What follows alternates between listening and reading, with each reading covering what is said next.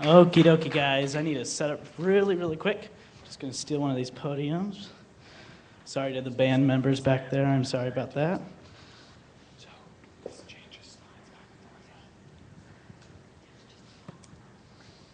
I just want to thank Jeff for a, a wonderful, warm welcome. He's been a great friend of mine for a few years, and um, I just want to emphasize on a few simple topics today the act of doing and talking. Today I'm here talking in front of you. You know, you're enjoying hearing all these wonderful t- speakers speak about different things. And ta- ta- talking is like someone who, you know, just has a lot of different ideas. For instance, our government today. They have a lot of different ideas, but do they really implement a lot? Just this week, I think they're trying to pass a, um, trying to pass a pass cuts. For instance, I think their deadline's tomorrow night, and they're all up in arms. It's really sad. But doing, someone who steps out the box, someone who gets down to work and is just that innovator like Steve Jobs. That guy took a simple idea and expanded it to a MacBook, to an iPhone, to an iPod. This guy was amazing.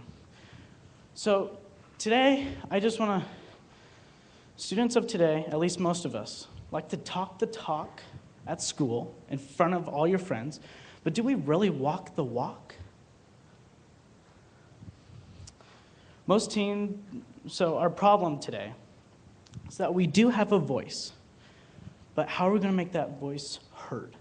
The problem we have is most teens are on Facebook, COD, if, that, if you guys know what COD is, it's Call of Duty, all of you parents out there.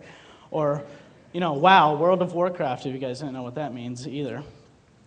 And, you know, our society has become very, very lazy. And it's so sad to see that we distract ourselves from just nonsense from Facebook, all the drama and all that stuff, relationship changes. It's really sad. So I'm going to give you a little analogy. So just follow along. Today you came here. You're sitting in these wonderful seats. And you're just relaxing, enjoying life, and you're admiring this great conference. And I think I see one of you on your Mac, or I think I see someone on their uh, phone out there.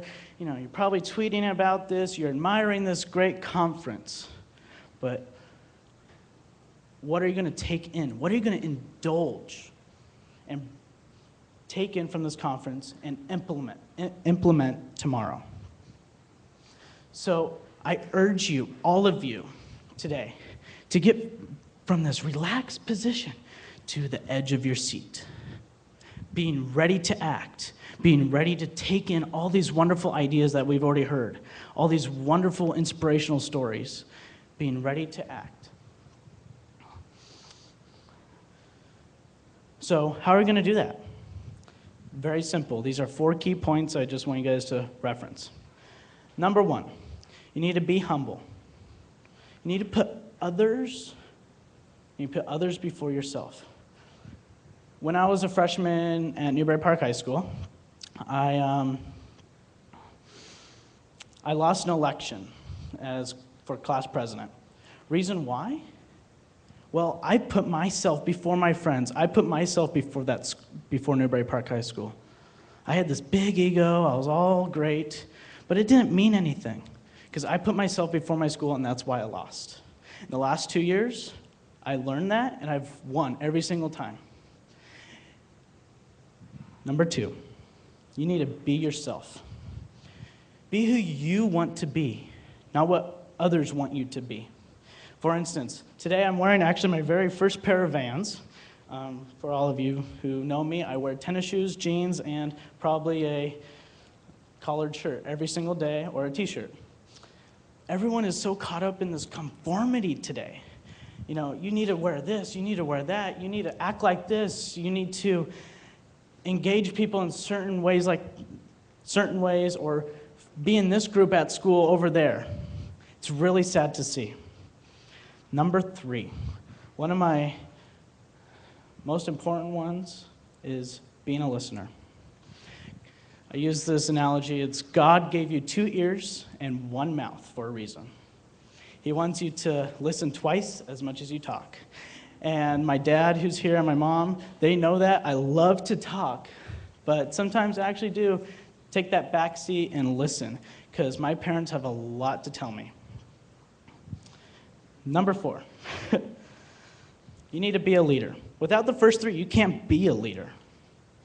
For example, this year um, at school we had a club start up. It's called the Panther Pit, very similar to the Green Hole. If you guys are, I think we got some waving hands over there. Oh, I'm sorry.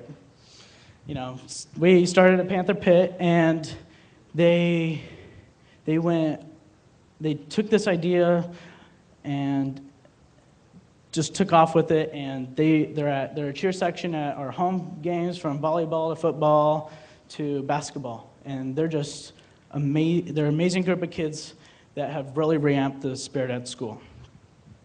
So to finish off, how you finish is how you will be remembered.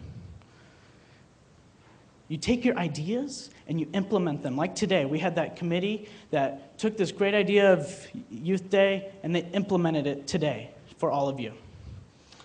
So let me finish off the quick quote. An idea that is developed and put into action is more important than an idea that exists only as an idea. That's from our fellow Buddha. Thank you very much. Have a wonderful day.